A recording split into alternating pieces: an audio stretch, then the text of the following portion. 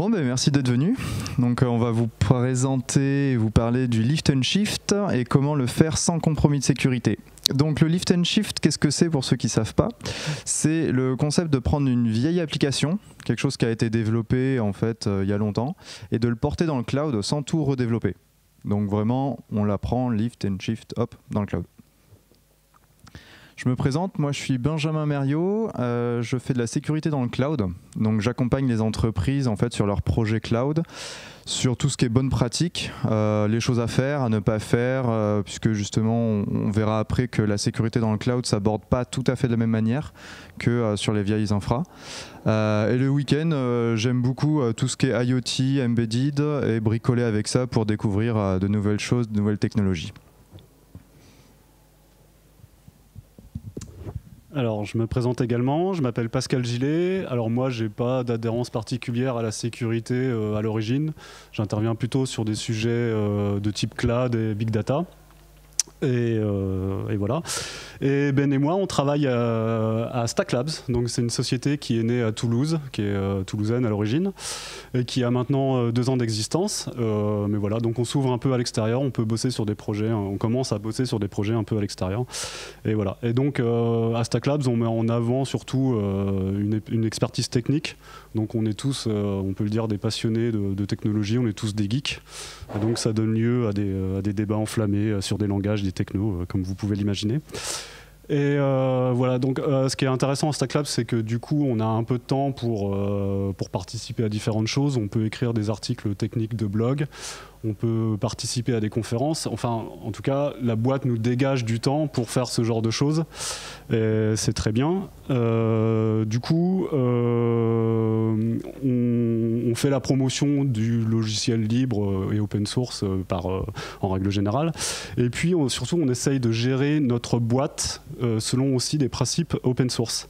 ça veut dire quoi? Ça veut dire, par exemple, tout simplement, toutes les décisions qu'on liées à la gestion de la boîtes sont prises en commun et on utilise des outils open source pour ça. C'est-à-dire que, euh, par exemple, on utilise GitLab euh, pour, pour, prendre nos décisions et euh, tout ça, c'est archivé, c'est documenté et donc on va pouvoir avoir des conversations écrites dans GitLab pour, sur un point en particulier. Et donc c'est comme ça qu'on va arriver à un consensus pour, pour prendre une décision. donc si vous êtes intéressé par Stacklabs, on pourra en discuter à la fin. Voilà. Donc revenons à nos moutons, on va vous parler de sécurité. Euh, donc ça, c'est juste un petit slide de rappel pour moi-même, pour euh, éviter euh, d'utiliser les termes cryptés et décryptés, hein, parce que vous le savez, c'est des mauvais anglicismes, il faut absolument pas utiliser ces termes-là. oui, en l'occurrence, oui, surtout pas décrypté. on va effectivement parler plutôt de chiffrement et de déchiffrement. Donc on dit qu'on chiffre un message avec une clé et puis on va déchiffrer ce message à l'aide de cette même clé. Et quand on décrypte un message, en fait, on va, on va casser le code quelque part, on va décoder le message, mais sans l'aide de la clé. Euh, mais donc si par malheur je viens utiliser ces termes pendant la présentation, veuillez ne pas trop m'en tenir rigueur. Euh, donc on va parler de cloud public. Euh, donc le cloud public, bah, vous le savez, c'est un monde formidable. Hein. Euh, notamment enfin, les grands fournisseurs de cloud que vous connaissez, donc GCP, Google Cloud, AWS d'Amazon, Azure de Microsoft, eh ben, nous ouvrent un monde meilleur. Tout ça nous permet de réduire nos coûts d'infrastructure, ça permet d'alléger nos tâches d'infrastructure. Il y a cette notion de, de disponibilité, c'est-à-dire on va pouvoir augmenter la disponibilité des applications et des services qu'on y déploie.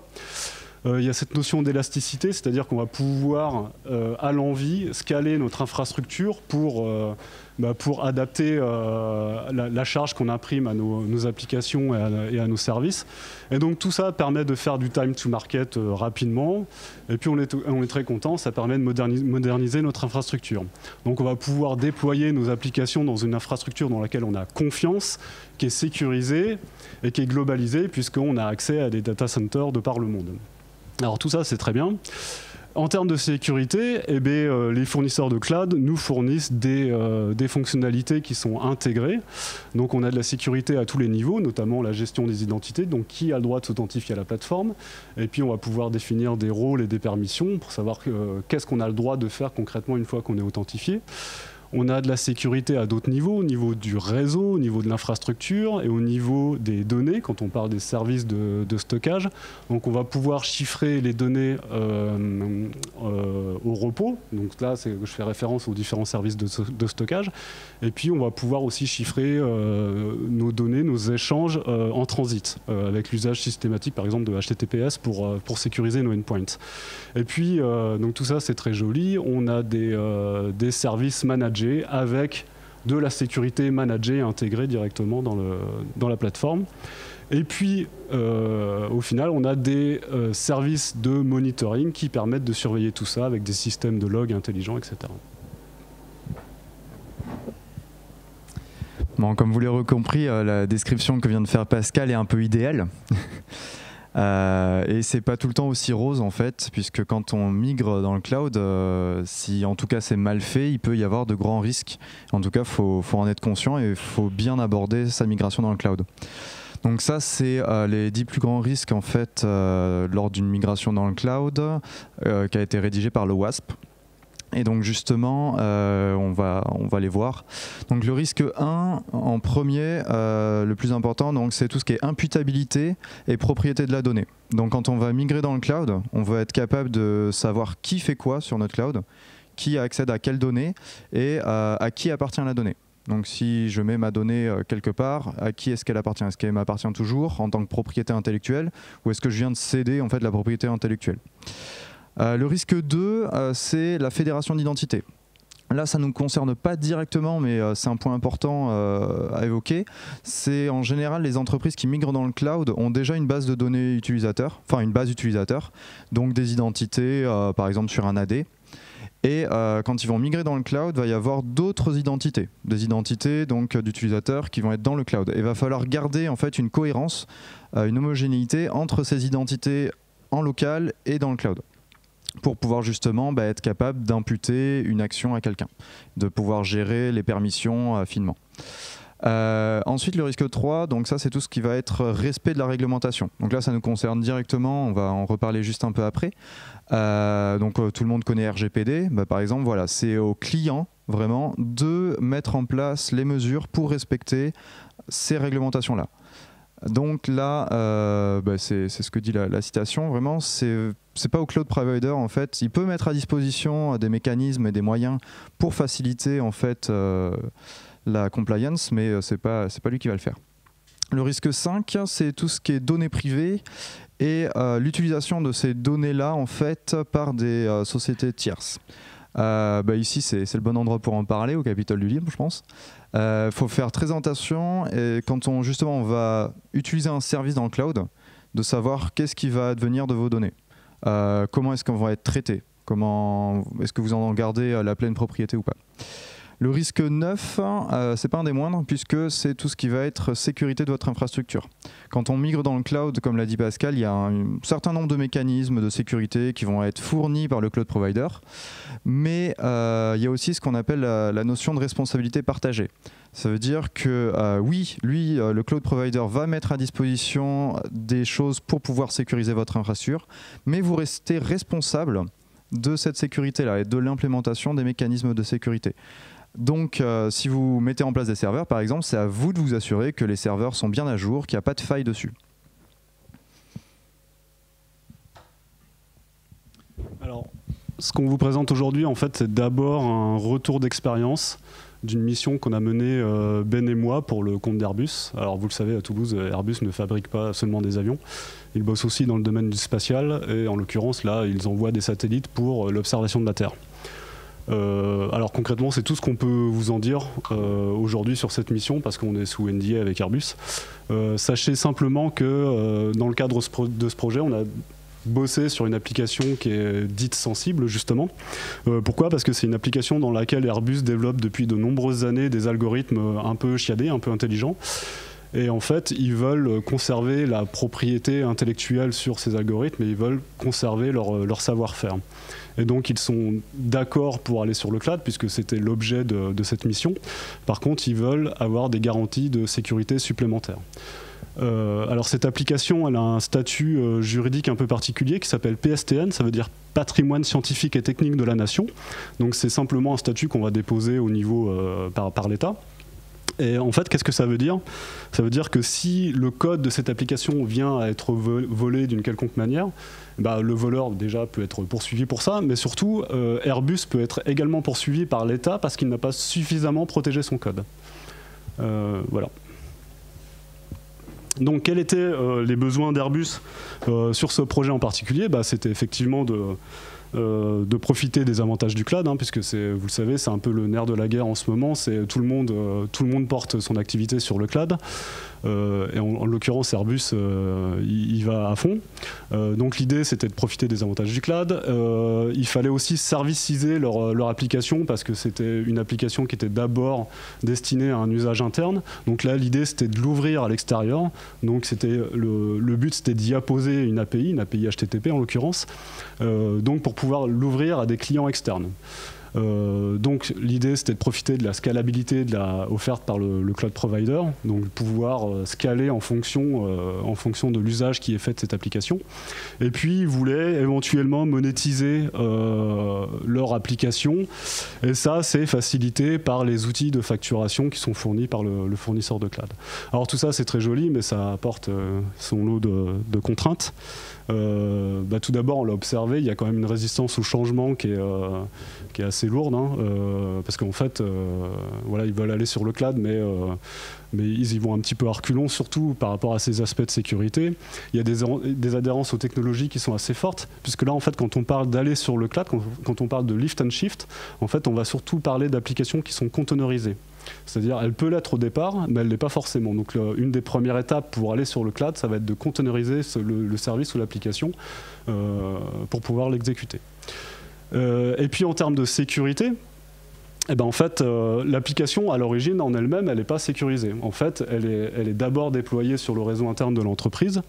Euh, et donc elle fait appel à une sécurité qui est plutôt traditionnelle, qui est plutôt périmétrique, c'est-à-dire que comme elle est déployée dans le réseau interne de l'entreprise, en fait on fait confiance à ce réseau, et c'est le réseau qui doit faire rempart pour protéger cette application. Donc c'est le firewall qui fait, qui fait la sécurité. mais en l'occurrence, cette application n'était pas protégée en elle-même. Donc voilà, donc ça, ça, nécessite beaucoup d'investissement, mais pour le coup, ils voulaient y aller, donc allons sur le cloud comme tout le monde le sait, euh, quand une application est déployée sur Internet, euh, il y a plein de gens pour des motivations diverses et variées qui vont essayer de voir ce qu'on peut faire avec cette application-là.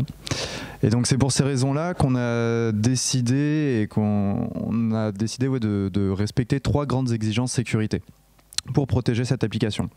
D'abord, ça va être le contrôle d'exécution.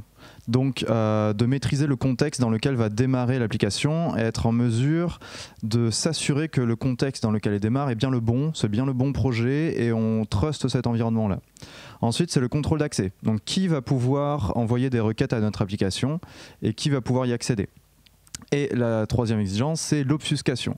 L'obfuscation, qui va rendre un peu opaque l'exécution de notre application pour, protéger justement ben, euh, ce qui est fait, comment elle traite l'information.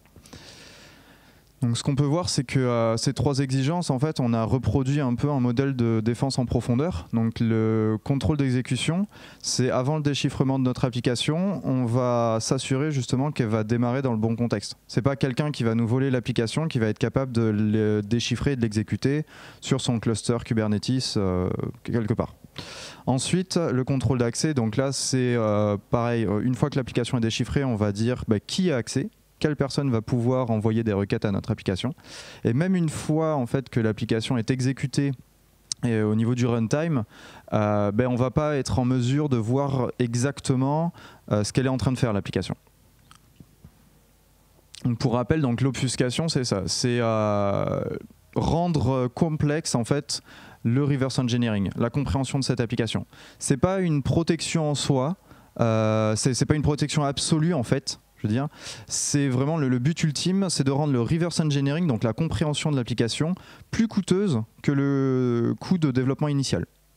Donc ça, c'est vraiment le, but de l'obfuscation.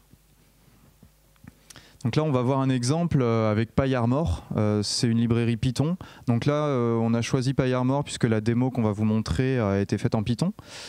on a un Hello World, tout ce qu'il y a de plus simple.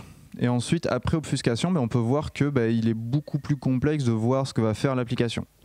Il euh, faut savoir que ça, va exécuter exactement la même chose. Ça va juste afficher Hello World, mais en fait, au premier coup d'œil, ben, on ne peut pas savoir comment est-ce que l'application va le faire.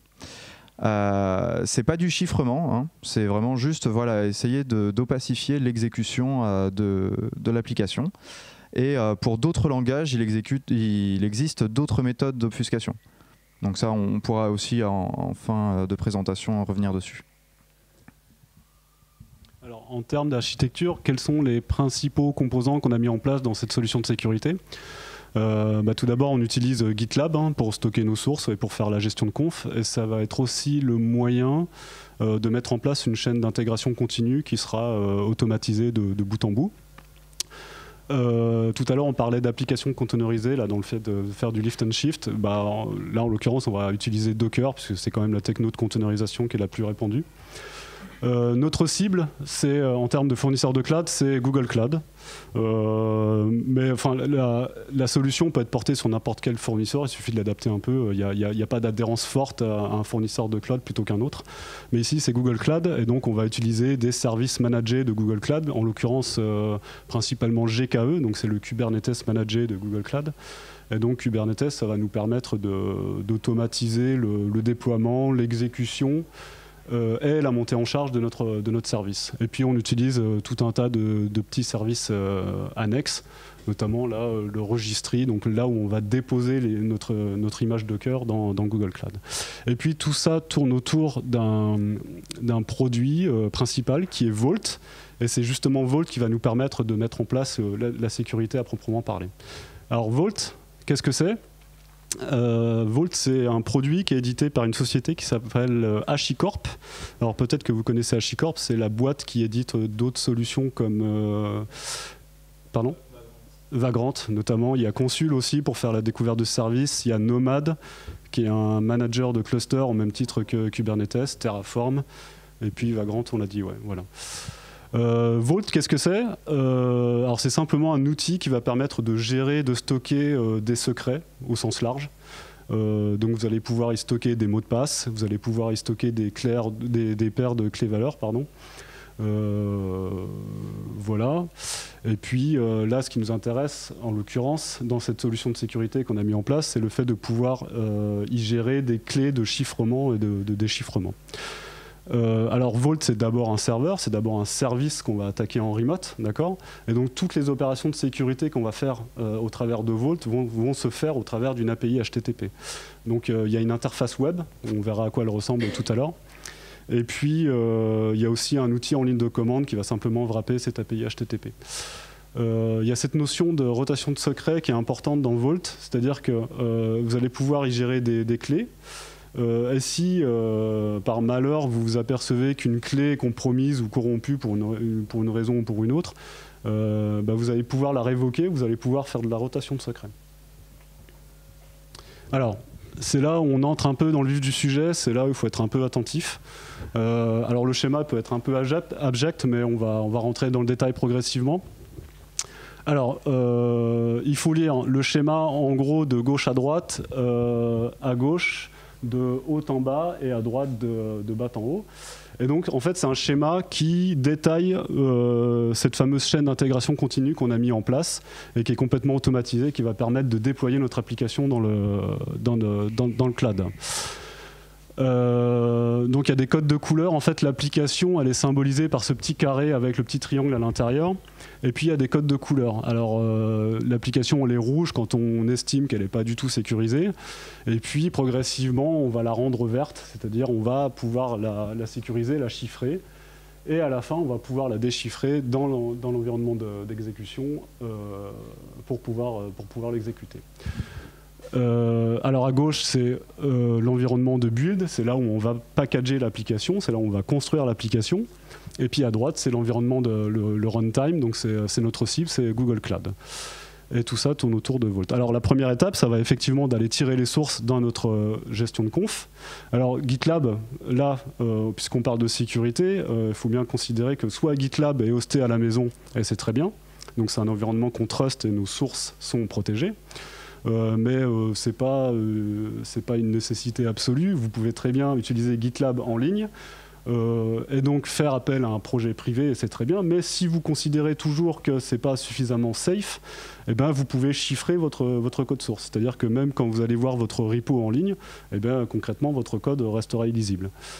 Euh, voilà. Euh, la deuxième étape, ça va être d'offusquer le, code, d'offusquer l'application, donc avec euh, typiquement PyArmor que vous a présenté Ben tout à l'heure.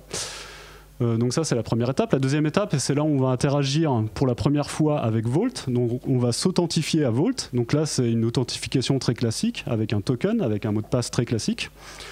on verra où est géré ce mot de passe. Et en fait, euh, ce qu'on va faire ici, c'est on va simplement demander à Vault de nous générer une data key. Alors une data key, c'est quoi? C'est simplement une clé de chiffrement qui va nous être livrée par Vault sous deux formats. Elle va être en clair, alors elle est protégée par HTTPS, hein, mais elle va être en clair et euh, sous sa version chiffrée. Avec euh, la data key non chiffrée, on va pouvoir chiffrer en local notre applicatif, parce qu'en fait, on va le faire en local. Pourquoi? Parce que notre applicatif peut être assez lourd, il peut peser plusieurs centaines de mégas, voire plusieurs gigas, pourquoi pas. Euh, donc c'est une opération qu'on va faire dans notre environnement de build. Euh, voilà. Et puis euh, la troisième étape, c'est qu'on va mettre tout ça dans un, un, joli conteneur, une jolie image. Donc on va colocaliser notre application qui vient d'être chiffrée en local avec la data key qui est elle-même chiffrée. Donc on oublie la, version euh, non, alors ça c'est oui qui est, chiffré. On oublie la version euh, non chiffrée. Et puis, euh, ce qu'on y met aussi dans ce conteneur, on y met aussi un, bootstrap. Donc là, en l'occurrence, c'est un simple script shell. ça peut être une application, mais c'est quelque chose qui va nous permettre de bootstrapper l'application. et donc pour ça, en fait, une fois que cette application est containerisée, bien packagée, on va la pousser dans le, registry de Google Cloud, et puis on va pouvoir la déployer au travers de Kubernetes, etc. Et donc là, la deuxième, la deuxième grande étape par rapport à Vault, ça va être de, euh, de déchiffrer, de faire l'opération inverse que celle qui a été faite dans l'environnement de build. Donc on va déchiffrer l'application au travers du script euh, de Bootstrap. Et pour ça, on va interagir une nouvelle fois avec Vault. Donc, on va s'authentifier avec Vault avec une, euh, là pour le coup, une méthode d'authentification qui est très spécifique et qui est, enfin, très spécifique à Google Cloud. Euh, voilà. Et puis, euh, bah, au final, on va pouvoir déchiffrer le binaire et exécuter notre application. Comme vient de le monde de, dire Pascal, donc euh, pour la partie authentification à Vault, euh, c'est ce qui va nous permettre en fait de faire le contrôle d'exécution. Euh, puisque là, le contrôle d'exécution, c'est l'application quand elle va vouloir démarrer, quand elle va vouloir se déchiffrer, elle va demander au serveur de métadonnées de GCP un token JWT. Donc c'est quelque chose qui est signé, et ce serveur de métadonnées n'est requêtable qu'à l'intérieur du projet. Donc c'est pas quelque chose euh, que qu'un autre serveur, que quelqu'un d'autre va pouvoir fournir en fait. Une fois que l'application a ce token là, qui est unique, euh, elle va le donner à Vault. Vault va ensuite vérifier la validité de ce token et va demander donc à Google, donc via l'API O2, est-ce que le token est valide? Et s'il est valide, alors du coup, Vault va dire OK, donc c'est bon, l'application est bien dans le bon contexte et je vais autoriser à, l'application de déchiffrer en fait et je vais lui fournir le secret qui est nécessaire au déchiffrement de l'application. Donc c'est comme ça que vraiment on va s'assurer que l'application démarre uniquement dans le bon contexte. Si quelqu'un venait à essayer de démarrer l'application en dehors de notre projet, bah, il ne pourrait pas fournir en fait ce, ce token JWT. Donc il ne pourrait même pas déchiffrer l'application. Ensuite, pour le contrôle d'accès, euh, donc là j'ai pris euh, comme exemple O2, il y a plein d'autres euh, mécanismes, SAML par exemple. c'est un peu similaire. Donc là j'ai pris aussi en exemple Keycloak, qui est un outil open source qui permet de gérer les identités. Donc l'utilisateur fournit son identifiant et son secret à Keycloak. Keycloak lui répond ben, s'il a fourni le bon couple identifiant mot de passe, il lui donne un jeton. Ce jeton va ensuite être fourni à l'application. Et là, pareil, l'application va euh, vérifier auprès du fournisseur d'identité euh, que bah, le, token est bien le bon. Et si le token est le bon et que le fournisseur d'identité dit oui, c'est bon, c'est un utilisateur valide et il a le droit d'exécuter l'application, alors l'application va s'exécuter. Donc là, on arrive à peu près à la moitié de la présentation. Euh, juste avant de passer à la démo, si vous avez des questions, bah, c'est peut-être le moment voilà, avant de, de, rentrer encore plus dans le vif du sujet. Qu'est-ce qui assure qu'une fois que l'application est déchiffrée, quelqu'un ne peut pas la prendre Donc euh, du coup, qu'est-ce qui assure que quand l'application est déchiffrée, personne ne peut l'exécuter, c'est ça? Non, la copier. Peut la copier, d'accord. Elle, elle est déchiffrée, elle est déchiffrée et elle se lance et après, Oui. bah, si quelqu'un y accède, Donc, du coup, une fois qu'elle est déchiffrée, l'application, comme on l'a vu, euh, alors elle s'exécute dans le projet qu'on trust. Donc, euh, dans le cloud, on est capable de savoir qui a accès à notre projet. Si on a bien respecté donc les principes euh, IAM classiques standards d'affecter uniquement les autorisations nécessaires aux utilisateurs qu'on veut. Et il faut aussi faire confiance au cloud provider. Ça, on y reviendra en fin de présentation. Euh, c'est ce qui va empêcher du coup le fait que quelqu'un puisse venir copier l'application.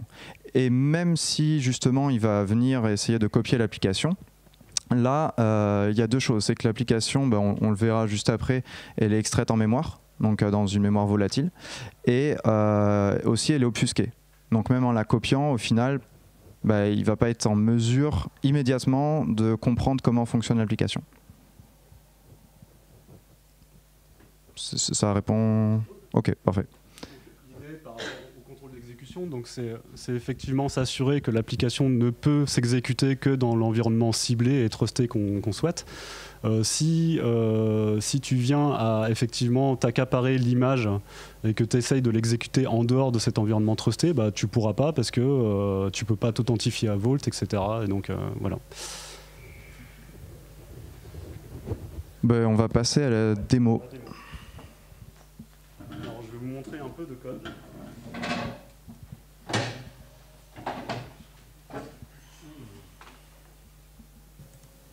Je sais pas si on m'entend bien au niveau du, du micro. Oui, alors, je vais passer en mode présentation. Il y a le deuxième micro qu'elle a. Ouais, je sais pas. Bon, je vais essayer de parler plus fort peut-être. Je rapproche le deuxième micro. Euh, alors avant toute chose, je peux vous montrer notre environnement cible. Donc euh, on a, on a dit que c'était GCP. Euh, donc ici en termes d'infrastructure, ce qu'on voit, alors effectivement on voit pas beaucoup. Ici, donc on a deux choses. Euh, nous on a choisi de déployer Vault dans GCP. Alors c'est soit vous le mettez dans l'environnement de build, donc ça peut être on-premise, là où vous allez packager votre application, soit vous le mettez dans le cloud, soit vous le mettez ailleurs du moment que c'est un environnement qui est trusté. Voilà, nous, pour cette démo, on n'a pas d'infrastructure disponible autre que GCP, donc on a décidé de déployer Vault euh, ici. Et puis on a trois autres machines ici, donc c'est simplement les trois machines qui composent notre cluster euh, Kubernetes, et c'est là où on va concrètement déployer notre, notre service. Euh, voilà. Alors, je me suis fait une petite roadmap. Ensuite, euh, je vous ai parlé tout à l'heure de l'interface web de Vault. Alors voici à quoi elle ressemble. Euh, Qu'est-ce qu'on peut vous montrer euh, au niveau de Vault? Alors dans Vault, il y a ce qu'on appelle des secret engines. Donc c'est des moteurs qui vont permettre de gérer des secrets. Il y en a plusieurs types. Et nous, celui qu'on utilise, c'est euh, le moteur de transit. Donc en fait, ça veut simplement dire que toutes les opérations de sécurité qu'on va faire au travers de Vault vont se faire au transit, en, en transit. Ça veut dire que Vault concrètement ne stocke jamais rien. La seule chose, c'est une exception, la seule chose qu'on qu'on stocke dans Vault, c'est une clé nommée euh, et qui va être euh, définie par application. En fait, Vault, c'est un espace qui est multi-tenant, hein, donc ça veut dire qu'il peut être partagé par plusieurs applications. Euh, ici, on va, simplement créer une clé de chiffrement qui est générale. et c'est avec cette clé qu'on va faire toutes les opérations de sécurité. Par exemple, je vous ai parlé de la data key tout à l'heure. En fait, cette data key, elle va être chiffrée sur la base de cette clé de chiffrement. Voilà. Cette clé-là, euh, on parlait de la rotation des secrets tout à l'heure, elle peut être euh, rotatée. Euh, donc on a plusieurs versions ici qu'on voit ici. En termes d'accès, on vous a parlé de deux méthodes d'authentification. Donc celle qui est utilisée au build, donc c'est quand on va packager l'application. Donc on utilise une méthode d'authentification classique par mot de passe, par token. Et puis, il y a celle qui va être utilisée au runtime par l'application quand elle va se déchiffrer. Euh, et donc, il va falloir s'authentifier via la plateforme Google, donc avec le fameux token JWT. Euh, voilà, et après, on peut définir des policies, des rôles, c'est-à-dire une fois que tu es authentifié, qu'est-ce que tu as le droit de faire dans, euh, dans Vault? Ici, avec cette méthode d'authentification, qu'est-ce qu'on dit? On dit simplement que tu as le droit de tout faire avec ce moteur de, secret qui est Transit, mais tu ne peux rien faire d'autre. Donc on a le droit de créer, de lire, de mettre à jour des, euh, clés. Euh, voilà. Maintenant, si on passe côté code, il y a quelque chose qu'on ne voit pas euh, dans Vault, mais qu'on dé- qu'on définit quand même dans Vault. C'est ce fameux rôle GCP. On parlait de policy tout à l'heure. En fait, ce qui est important, c'est ce qui va assurer le contrôle d'exécution. Alors, je vais peut-être passer en mode de présentation. Voilà. Ça ici, c'est très important. En gros, c'est ce qui va nous assurer le fameux contrôle d'exécution. C'est-à-dire que euh, tu as le droit de t'authentifier à Vault, mais euh, tu as le droit de faire des choses que si tu es, dans un contexte bien particulier. En gros, ici, on dit que euh, tu, dois être une machine du projet Asgard euh, dans GCP. Euh, tu dois être une machine dans la région Europe euh, Ouest 1B, donc ça c'est en Belgique. Et puis surtout, tu dois avoir des machines avec des tags très particuliers, donc foobar, zipzap, brickrock, etc. Et ces tags, par exemple, si je vais voir les machines dans GCP,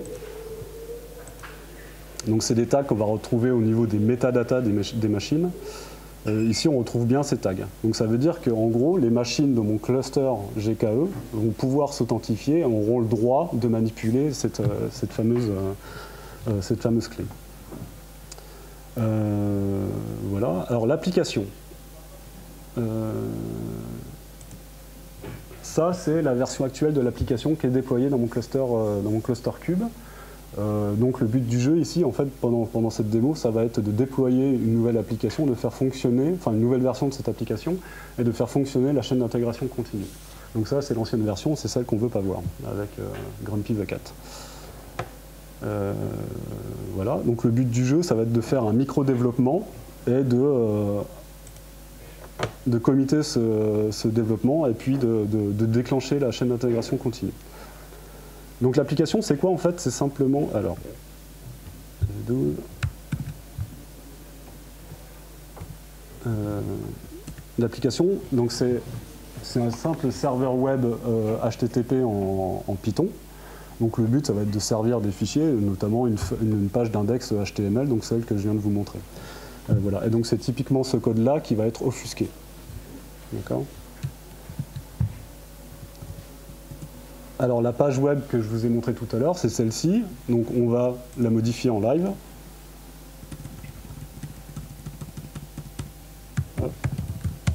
Hello Capitole du libre.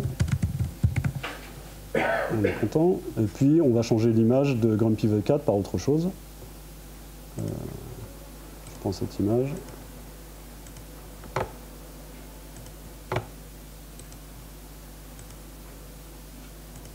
Je surcharge mon image. Voilà. Donc là, j'ai fait mon micro-développement. Je vais commiter ce développement.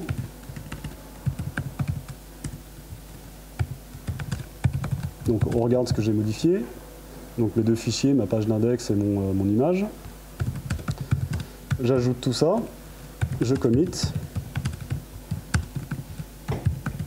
Avec un joli message de commit. Capital du libre. Je push. En espérant qu'on a bien le Wi-Fi, oui, tout à fait. Euh, je, vais déposer un tag. Capital livre. Et puis, bah, je vais pousser mon tag. Voilà, et le fait d'avoir déposé ce tag, en fait, ça va déclencher ma CI parce que euh, je souhaite euh, que ma CI soit déclenchée que par tag. Donc ici, si on va voir dans GitLab, dans mon projet, au niveau CI, euh, ici, hop, on voit que la CI a été déclenchée, qu'elle est en train de s'exécuter. Donc maintenant, on a un peu le temps pour parler du reste. Alors, on parlait d'une application containerisée tout à l'heure, donc effectivement, mon application va être packagée dans une image Docker. Donc le Dockerfile, à quoi il ressemble? Alors je repasse en mode présentation, sinon vous n'allez pas voir grand-chose. Alors ici, ce qu'il est intéressant de noter, c'est qu'on utilise une fonctionnalité de Docker qui est euh, présente depuis quelques versions déjà. C'est cette idée de faire du build, en, enfin de, fabriquer notre image en différentes étapes, en, étapes successives. En fait, on utilise le multi-build ou le multi-staging, un truc comme ça. Et donc en fait, on va utiliser des images successives pour construire progressivement notre, notre application.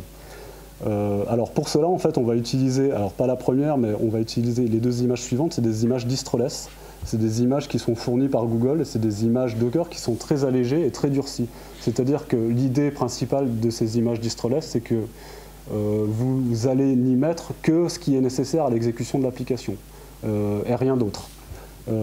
en fait, il y a les, deux, les images distroless, elles sont fournies sous, sous deux formes. Il y a les images de debug, où vous, avez encore la possibilité d'inspecter le contenu de cette image et vous avez encore accès aux commandes Unix classiques au travers de BusyBox. Là. Euh, mais l'image finale qu'on voit ici, là où va se, retrouver notre applicatif, euh, c'est celle-ci, la Python 3. Euh, elle n'est pas taguée debug et donc en fait vous n'avez accès à plus rien. C'est-à-dire que vous ne pouvez même plus faire un ls dans le contenu de votre, de votre image. Donc je reviens à la première étape. Donc, la première étape dans notre, notre image, ça va être d'offusquer le code. Donc, on, installe PyArmor et puis euh, on exécute PyArmor sur notre, notre, application. Voilà. Donc, une fois que mon code est offusqué, je vais le copier dans la deuxième image. Et c'est ici, rappelez-vous, dans la chaîne d'intégration continue, c'est là où on va interagir la première fois avec, euh, avec. Euh, donc, je vais m'authentifier avec Vault. Ici, euh, je vais créer une nouvelle version de ma clé nommée qu'on a vue tout à l'heure dans le moteur de transit dans Vault. Et puis au travers de cette clé nommée, je vais demander à Vault de me générer une data key qui va être euh, ici, donc qui va m'être retournée sous deux formes, une forme chiffrée, une forme euh, déchiffrée. à, l'aide de la forme déchiffrée, je vais pouvoir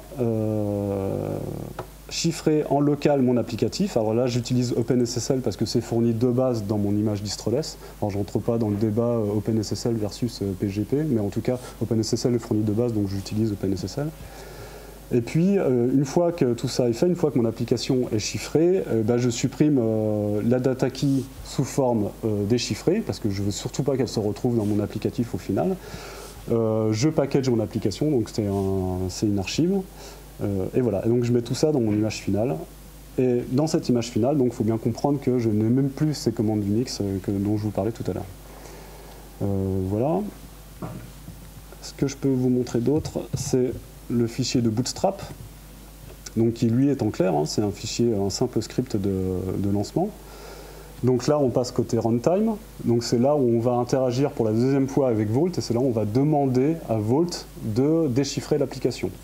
Et donc pour ça, on, demande euh, le fameux token JWT au serveur de metadata de Google. Ce token JWT, je l'envoie à Vault, je m'authentifie avec lui. Euh, je vais pouvoir récupérer la version euh, déchiffrée de ma data key et je déchiffre, donc je fais l'opération inverse de celle qui a été faite au build, je déchiffre mon applicatif ici, Decrypt via application. Voilà. Et après, je, donc c'est une archive, donc je détare mon applicatif et je vais pouvoir euh, lancer euh, mon application. Alors $1 c'est l'argument qu'on va trouver ici dans le Dockerfile. Ah.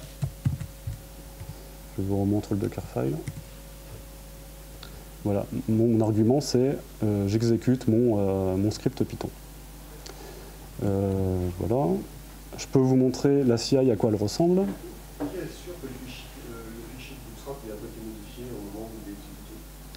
Euh, c'est la gestion de code, justement, c'est ce qu'on disait euh, tout à l'heure. Euh, du coup, la, question, c'est sûr que le, bootstrap en fait est, intègre.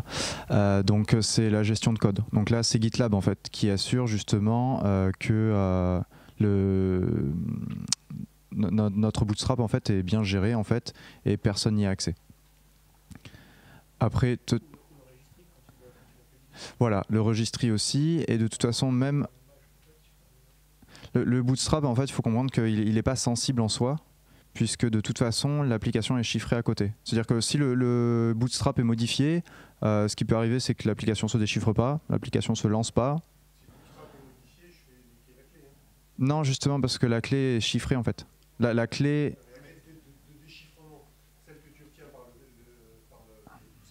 Oui.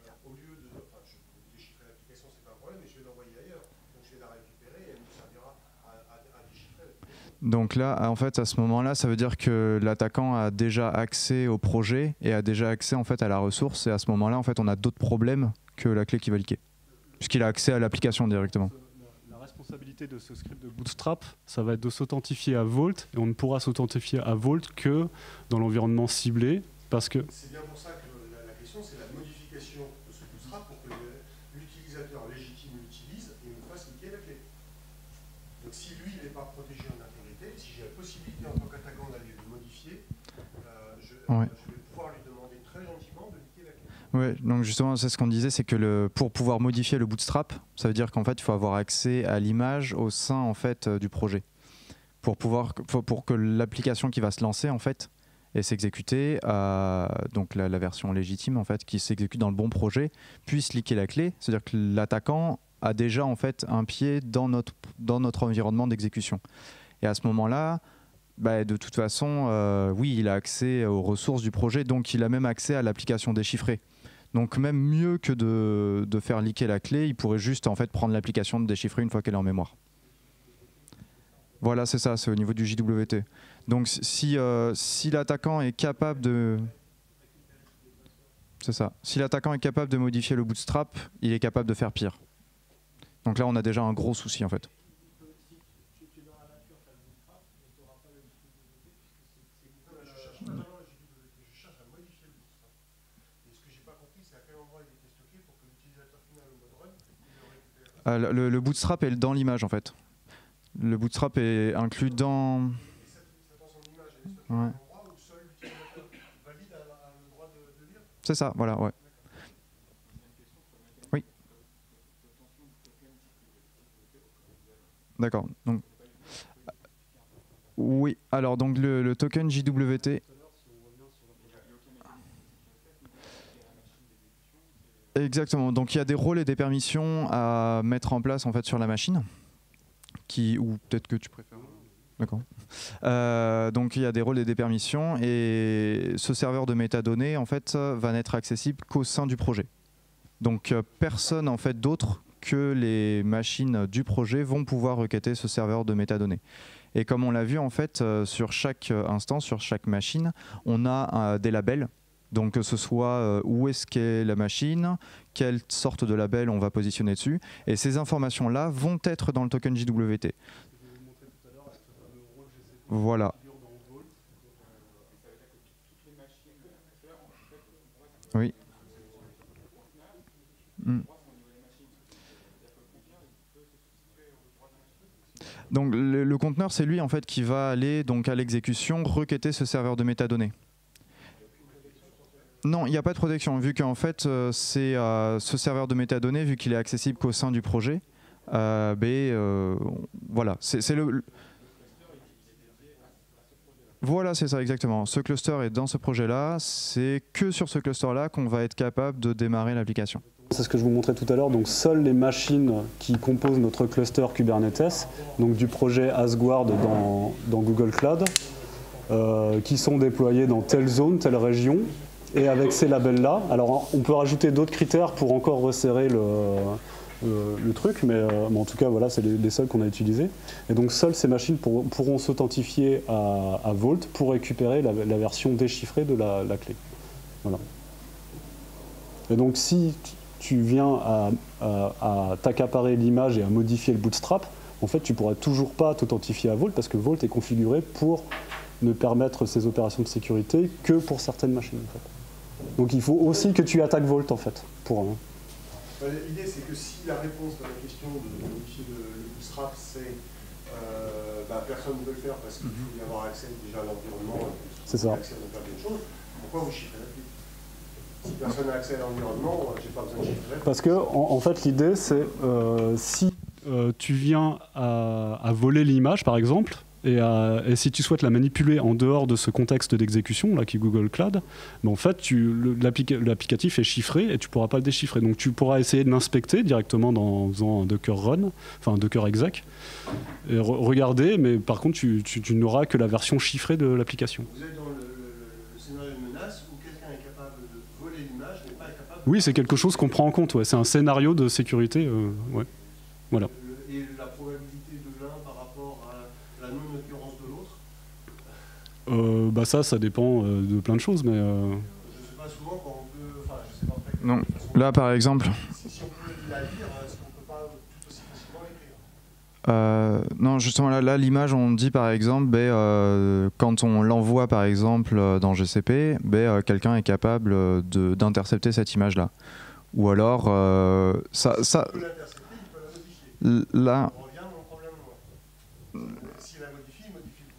Il peut bah, non, là, parce que l'application, du coup, il y a un check d'intégrité dessus. Et donc, justement, euh, on va, G- euh, GKE va pas exécuter l'image puisque le bootstrap est modifié. S'il y a des, en fait, dans, Docker, il y a des hashes, en fait, des hashes euh, SHA-256 pour vérifier l'intégrité euh, de chaque layer. Enfin, ouais. Oui, oui aussi. Bah, à la limite, on peut passer à la suite, légèrement. ouais, je propose de continuer, mais euh, on pourra discuter la conversation après si vous voulez. Excuse-moi, j'ai encore une question. Ça veut dire que là, dans votre use case, euh, vous pouvez tourner que sur une certaine machine sur Google Engine. Vous Mhm. ne pouvez pas avoir- recréer des machines à la volée, puisque dans ce cas-là, il ne pourra pas Si. récupérer la clé. On recrée les mêmes machines en fait. On scale, on, Oui, mais on recrée des clones. ok, c'est une copie conforme de la même machine. Oui. Avec exactement la même description, c'est-à-dire avec un, un projet qui a tel nom, euh, voilà, Voilà, dans tel ça. contexte. Euh, je voulais simplement vous montrer la chaîne d'intégration continue, donc montrer le, le contenu du fichier euh, .gitlab-ci. Donc là, il y a deux grandes étapes. Il y a l'étape de build, donc c'est là où on va construire notre image. Avec, euh, alors là, pour le coup, on n'utilise pas, on n'utilise pas. En fait, ce qu'il faut bien comprendre ici, c'est que euh, GitLab va exécuter la chaîne d'intégration euh, dans des conteneurs. Et donc, on va. L'idée, ça serait de construire notre image dans un conteneur. Donc, ça serait, ça revient à utiliser Docker in Docker. Mais là, c'est ce qu'on. On ne veut pas faire ça parce qu'en fait, Docker in Docker, c'est pas très sécurisé. Il faut. Il faut exécuter Docker en mode privilégié, donc du coup c'est dé- c'est déjà un problème de sécurité en soi. Donc on utilise une alternative à ça qui s'appelle Canico, donc qui est fournie aussi par Google, et donc ça permet de builder des images Docker sans le démon Docker. Euh, donc c'est euh, l'instruction qu'on voit ici.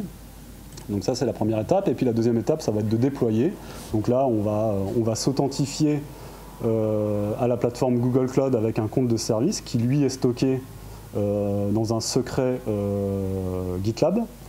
Euh, et après, on utilise kubectl pour déployer, euh, déployer notre application avec notre manifeste de, déploiement ici. Voilà. Euh, ça, ça, qu'est-ce qu'on peut montrer d'autre? Donc, on va juste regarder si dans GitLab euh, ça s'est bien passé. Donc, apparemment, mince, oui. Donc, elle est passée. Et donc, on va simplement rafraîchir notre application. Tac, et voilà, hello Capital du Louvre, on est content. Euh, voilà. Donc on revient à la présentation. Tac, ici. Ici. Ce qu'on vient de voir ici, euh, les différents mécanismes, euh, c'est euh, donc on répond bien aux trois grandes exigences qu'on s'est fixées au début. Donc c'est le contrôle d'exécution, comme je rappelle, c'est fait à partir du token JWT qui est fourni par le serveur de métadonnées de GCP, qui est accessible uniquement au sein du projet et qui ensuite va être vérifié par Vault. Ensuite, on a le contrôle d'accès, donc là qui n'est pas dans la démo, mais c'est des choses assez classiques, notamment avec O2 ou du SAML qui peut être fait par Keycloak, par un Active Directory ou par, euh, par autre chose. Euh, et on a l'obfuscation là dans la démo, donc qui permet euh, d'opacifier en fait justement euh, l'exécution euh, de l'application et de- d'empêcher la compréhension en fait de l'exécution. Là, c'est fait avec PArmor, mais euh, on pourrait utiliser VM Protect par exemple pour du langage compilé en C. Pour la petite histoire, euh, cette solution lui a donné un nom, euh, non pas euh, d'après Marvel, mais plutôt c'est la mythologie nordique, Asgard, qui est la forteresse imprenable des dieux. Et donc on l'a nommé Asgard.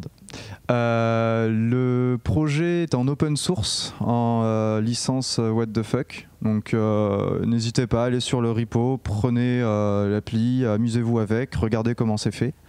Il n'y a aucun souci. Euh, et on voit aussi toutes les, toutes les technos donc, euh, qui gravitent euh, autour de cette solution. Pour ceux qui sont attentifs, il y en a deux qu'on n'a pas montré. Donc c'est Elastic et Kibana. Et Elastic Kibana, donc c'est une fonctionnalité qu'on aimerait bien ajouter par la suite, c'est du monitoring. Donc c'est être capable en fait de mettre tous les logs au même endroit pour faire de la corrélation de logs. Et ça nous permettrait typiquement de détecter des anomalies. Comme ben, Vault fournit une clé de déchiffrement, mais on n'a pas eu d'authentification, on n'a pas eu de requête légitime d'utilisateur. Donc là, ça pourrait être justement euh, un attaquant qui essaye de déchiffrer et qui a eu accès à notre serveur de métadonnées euh, sans que ben, euh, un utilisateur légitime soit en train de requêter l'application. Donc voilà. Et un autre concept aussi dont j'aimerais parler, c'est le man at the end. Donc concrètement, c'est donc dans la salle peut-être que vous connaissez le man in the middle quand euh, un attaquant euh, est capable d'espionner euh, justement des échanges entre deux acteurs, ou même voir intercepter des flux et les modifier. Là, le man at the end, c'est le concept d'exécuter notre applicatif sur la machine de l'attaquant. Le majeur problème que ça pose, c'est que l'attaquant en fait a accès illimité et autorisé à toutes les ressources de l'ordinateur. Donc que ce soit le CPU, la mémoire ou le réseau il va pouvoir tout maîtriser. Euh, il y a assez peu d'études sur le sujet. Là, j'ai mis en, lien euh, une des études euh, que j'ai trouvées. c'est un, concept vraiment complexe à aborder en sécurité, puisque généralement, on essaye de protéger en fait justement ce qui va tourner autour de notre machine, mais une fois que l'attaquant a accès à la machine, en sécurité, on dit bah, tant pis, c'est fini. Euh, donc on a quand même quelques pistes en fait pour pouvoir ralentir l'attaquant. On va pas pouvoir le stopper intégralement, euh, mais on va quand même pouvoir lui complexifier la tâche. Donc notamment grâce à l'obfuscation. L'obfuscation, donc ce qu'on a vu, c'est rendre complexe l'analyse de l'application. On a le temper proofing qui va permettre en fait euh, d'empêcher la modification de l'applicatif. Donc par exemple essayer de lui faire exécuter des instructions qui pourraient compromettre sa sécurité. Donc euh, on a des mécanismes pour empêcher ça. Euh, on a ensuite, euh, alors ça c'est plutôt ce qui touche au domaine de la propriété intellectuelle, c'est tout ce qui est watermarking. Watermarking, ça va nous permettre, si par exemple, comme par hasard, on voit une application qui remplit les mêmes fonctionnalités que la nôtre sur Internet, ben, d'être en mesure de prouver qu'en fait c'est notre application. ensuite, on va avoir le concept de birth marking, donc de tâche de naissance. Là, ça va encore plus loin. C'est quand on va avoir du code source qui va être compilé on va être capable en fait de déceler que la fonctionnalité, en fait, l'applicatif est bien le nôtre et c'est notre code source qui a été compilé. C'est nos fonctions, c'est notre développement. Voilà.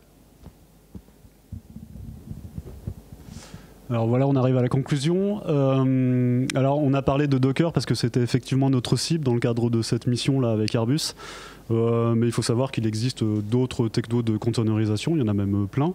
Mais il y en a une qui est intéressante quand même et qui se démarque un peu des autres en termes de sécurité, c'est Rockit. Euh, pourquoi? Parce qu'elle enforce des, euh, des, fonctionnalités, des primitives de sécurité par défaut. Donc vous avez seccomp et SE Linux qui sont activés par défaut.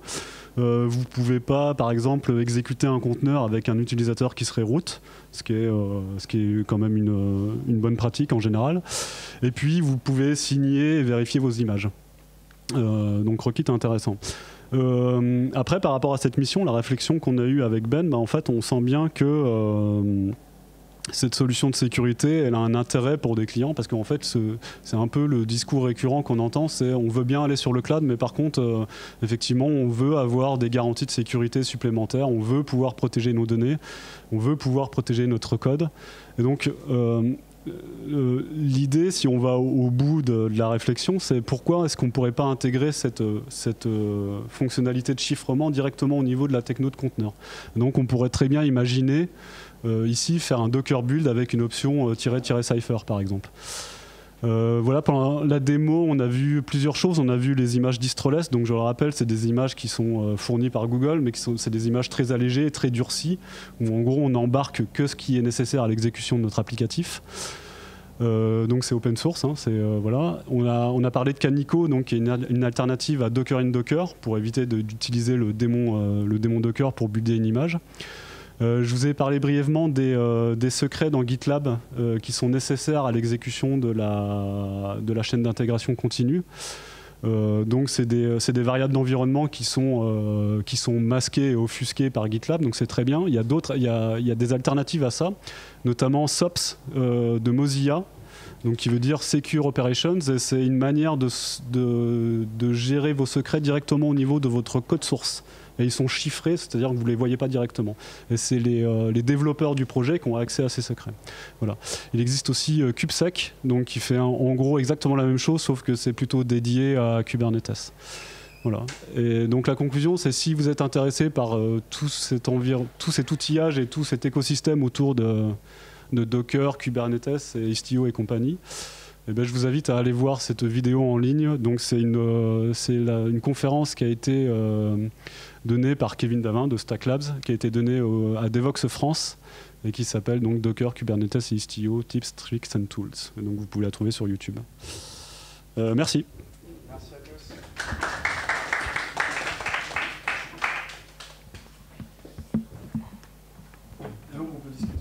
Donc euh, si vous avez des questions, oui. Ah non, c'est bon.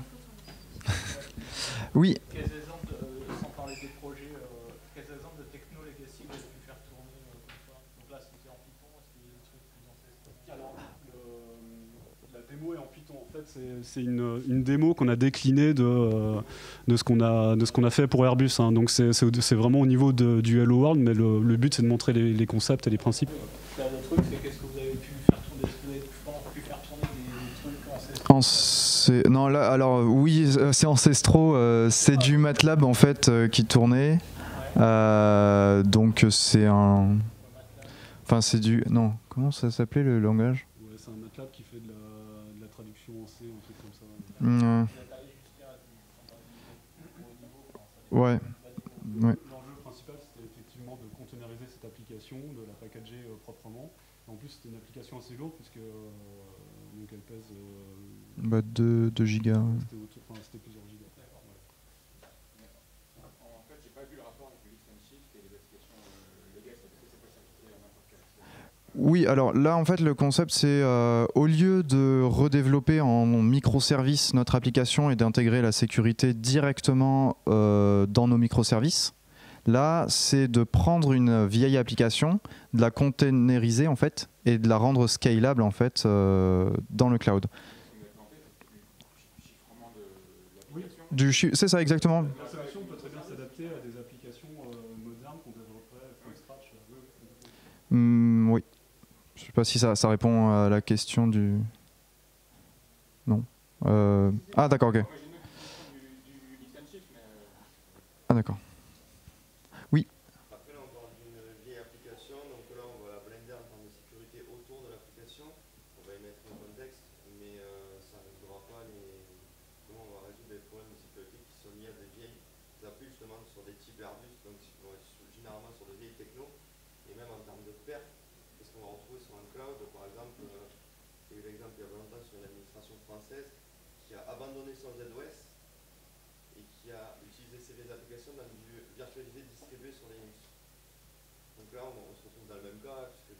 derrière Mhm. le cloud, euh, généralement, c'est du Linux. Qu'est-ce qu'on va retrouver en termes de perte par rapport à ces vieilles applis Du coup, en termes de performance, effectivement, ben, euh, ça dépendra des, de l'appli, euh, comment elle tourne. Donc ça, on n'aura pas de gain forcément en termes de performance. Pas, pas plus qu'en fait euh, lorsque l'appli tournait euh, on-premise chez le client. On aura essentiellement la même chose en fait. Ce que va permettre le cloud, c'est de pouvoir absorber les pics de charge.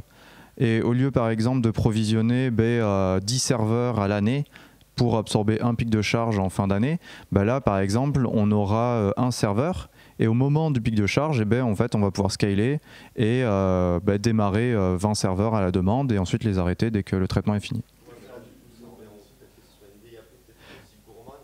Oui. Et le coût de faire une augmentation de pic de charge, est-ce que par rapport au coût de redéveloppement de Voilà, effectivement. Alors ça, cette idée justement, enfin ce- cette décision de redévelopper ou pas l'application, euh, ça c'est quelque chose qu'il faut prendre en amont effectivement.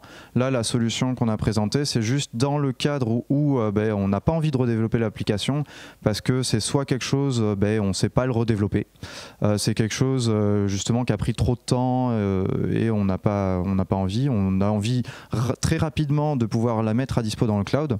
Et bien hop, on fait bah, le lift and shift, tchac, on l'envoie. Bon. Eh ben, S'il n'y a plus de questions, bah, merci beaucoup en tout cas d'être venu et on traînera en...